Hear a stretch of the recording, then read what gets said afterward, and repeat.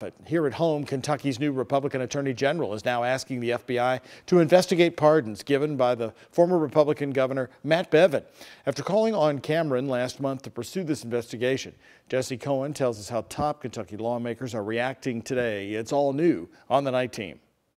The call for investigation has been answered.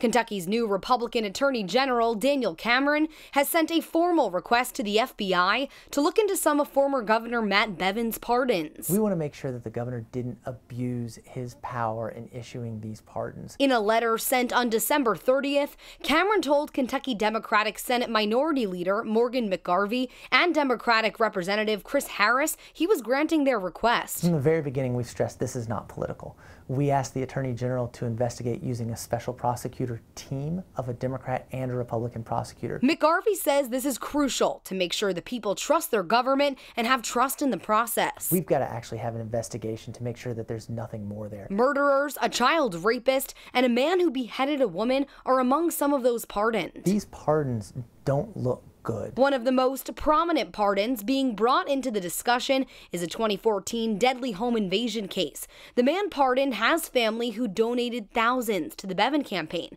making many question if there was a quid pro quo. Why were they issued to people who donated to the campaign?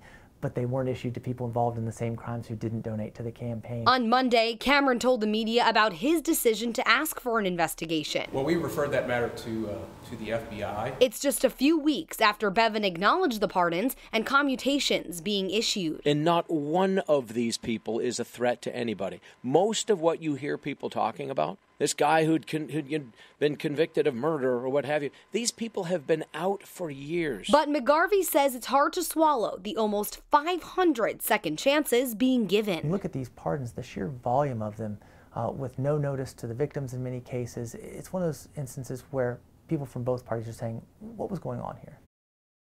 Now, Matt Bevin has not commented today on the new development, but on December 19th, he responded to Terry Meiners in regards to those heinous crimes, saying that these people who have been accused and convicted of that, but he thought that if these people have not done it, he wouldn't have let them out. For the night team, I'm Jesse Cohen.